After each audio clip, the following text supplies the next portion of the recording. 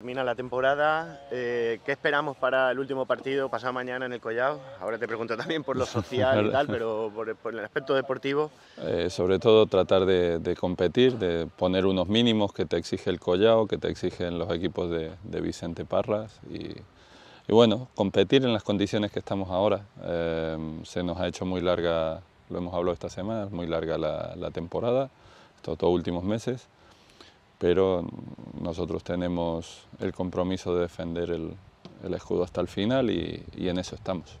¿Cómo está el parte de guerra eh, de jugadores, de bajas?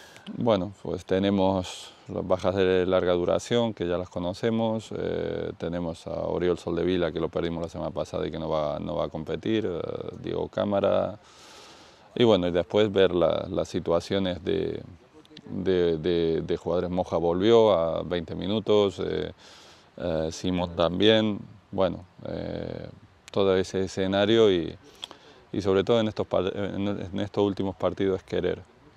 Es, ya no, va, no es una cuestión táctica ni técnica, es querer y bueno, vamos a ver los jugadores que, que están en condiciones, sobre todo mentales, de competir.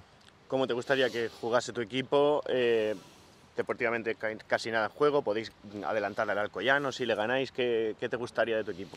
Sobre todo que fuéramos reconocibles, eh, nos ha costado en estos dos últimos meses, yo creo que en los diez primeros meses hemos sido un equipo reconocible, un equipo defensivamente duro, eh, agresivo en, en, ataque y es lo que te va, te va a exigir el Collao. Uh, creo que, que, los equipos de Vicente son, un, son un muy, muy reconocibles en cualquier situación eh, más jugando en casa. Eh, creo que su segunda vuelta, sumada a nuestra primera vuelta, daría, daría un equipo de playoff.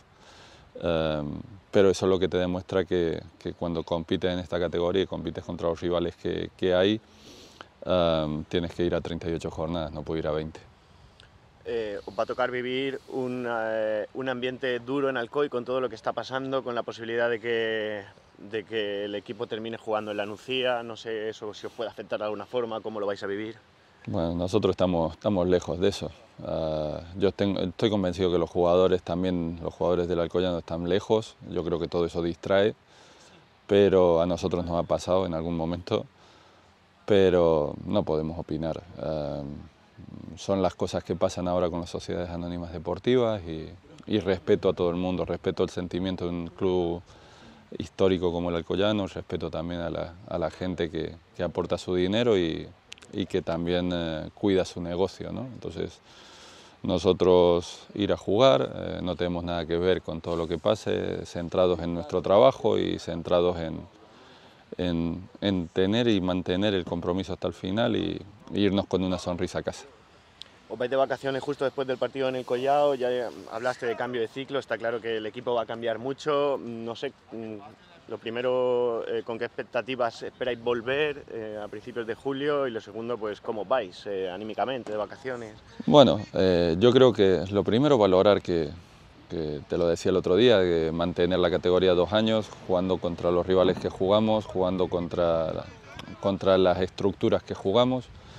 Bueno, yo creo que eh, nos vamos con el mal sabor de boca de no haber terminado la temporada un poquito mejor, pero también sabiendo que era muy complicado el, el ascender prácticamente imposible a lo que es hoy en día Intercity. Uh, también me voy contento, me voy eh, en el sentido que sé que el club ha aprendido, uh, que tenemos gente inteligente, que creo que vamos a mejorar y, a partir de ahí ya te digo, ahora con ganas de, irnos de vacaciones, pero seguro que a los cinco días con ganas ya de empezar a entrenar, empezar a hacer cosas, porque yo creo que viene una, una liga preciosa y ahora mismo para Intercity estar en primera ref es, es algo muy bonito y es lo que te acerca al final eh, al fútbol profesional. Si tú, no, si tú no estás en esta categoría no puedes empezar la, la siguiente pensando en el fútbol profesional.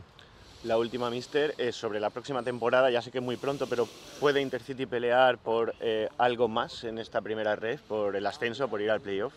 Lo primero que tiene que hacer el uh, Intercity, lo que tenemos que hacer todo es analizar la temporada, analizar todos los errores que hemos tenido dentro y fuera del campo, corregirlos porque luego van a salir otros y a partir de ahí presentarnos el primer día de pretemporada con, con gente que, con jugadores eh, eh, que vengan eh, sabiendo lo que es Intercity, sabiendo eh, lo que hay que competir y a partir de ahí crecer. no podemos decir a, 24 de mayo lo que va a ser el año que viene. Yo creo que va a ser una categoría durísima otra vez. porque vienen equipos de arriba con, con, dinero, se van a quedar muchos de los que están hoy en día. Entonces, lo primero es corregir errores, eh, mirarnos el ombligo, que hemos hecho eh, cosas que no, mal, y, y también potenciar las que hemos hecho bien, que ya te digo que han sido muchas en nuestras condiciones.